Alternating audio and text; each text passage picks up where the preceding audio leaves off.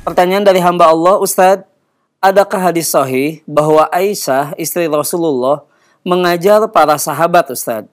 Karena di sekarang ini banyak ustazah wanita percaya diri menjadi penceramah untuk laki-laki. Mohon penjelasannya Ustadz.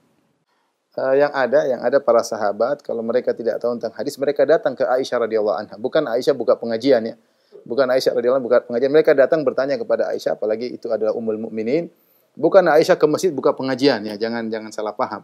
Jadi wajar kita tahu ada istri Nabi yang sangat cerdas, faqihah, Aisyah radhiyallahu taala Siddiqah binti Siddiq ya radhiyallahu taala anhuma ya wanita yang soleh yang alimah dan dia adalah ibunda kaum ini ketika para sahabat ada masalah mereka bertanya kepada Aisyah radhiyallahu taala karena mereka tahu uh, tidak ada yang punya ilmunya kecuali Aisyah banyak hal-hal yang terjadi dalam rumah Nabi yang tidak ada yang tahu kecuali Aisyah radhiyallahu taala anha ya uh, adapun zaman sekarang banyak laki-laki tahu ngapain ngapain kita belajar kepada wanita yang ilmu itu ada di kalangan para lelaki ya Ya kecuali mungkin wanita mengajar wanita, maka itu oke okay lah ya. Mungkin ada majelis mereka khusus. Selama wanita tersebut memang berkompeten untuk bisa mengajar ya.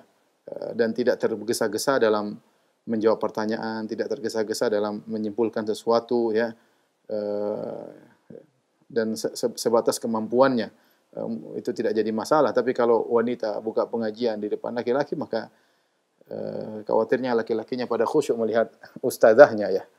Demikian saja kajian kita para ikhwan dan akhwat yang dirahmati Allah Subhanahu pemirsa TV Raja dan Radio Raja di mana Anda berada. Insyaallah kita dipertemukan kembali oleh Allah dalam kesempatan berikutnya masih dalam tafsir surah Al-Ahzab. Kurang lebihnya saya mohon maaf.